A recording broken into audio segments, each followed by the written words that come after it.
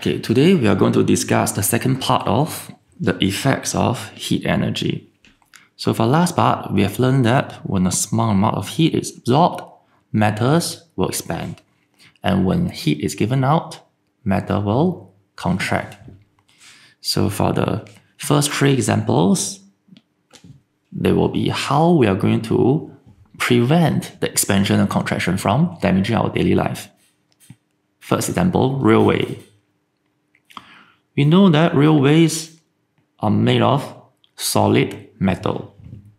And we leave a gap in between the two parts of railways. Reason being, when heat is absorbed, sun overhead, the railway will expand. The gap is allow them to expand. If we build a single railway without gaps, when heat absorbed, it tends to expand, so the whole railway may bend up, may bend up, endanger the life of the passengers. So the second application is for building bridges.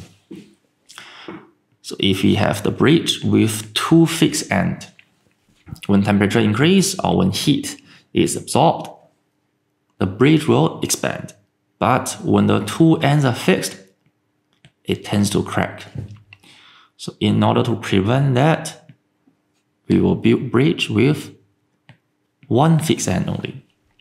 The other end, we allow the bridge to shift, to slide in and out. When temperature increase or when heat is absorbed, the bridge will expand and will slide to the right side. And when temperature goes down, winter comes, heat is lost, it will contract and slide in. So it prevent the bridge from cracking. The third application is telephone cable, telephone wire. Normally we'll see telephone wire like a coil. But if our phone wire is a thin line without all the coilings, when temperature goes down or when heat is given out, it will contract and bring in tensions at different points, it may snap the wire. So by building it in a coil form, it prevents the snap of a telephone wire.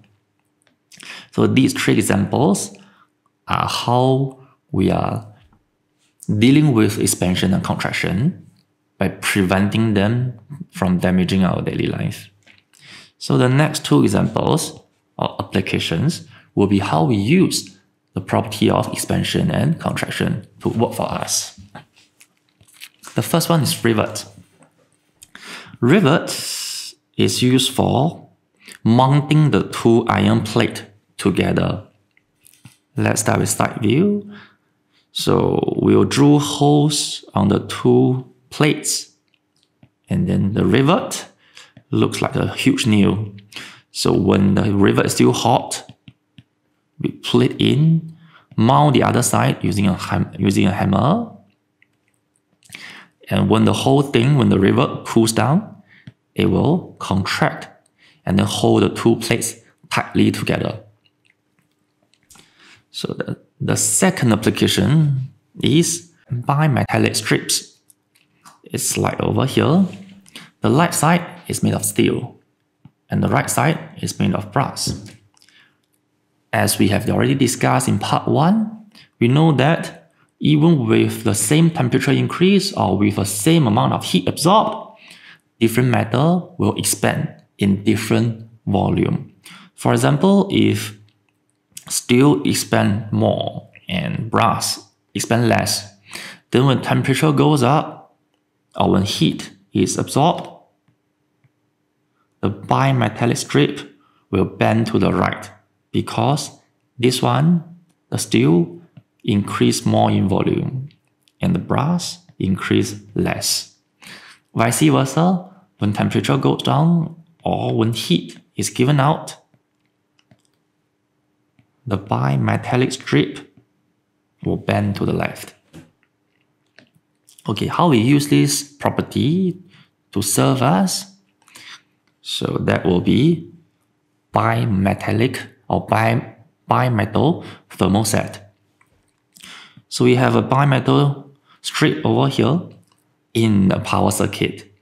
So for example, if that's a heater uh, of either kettle or for your bath water, when, it's, when it detects high temperature or when heat is absorbed, it will bend up, so the heater will turn off.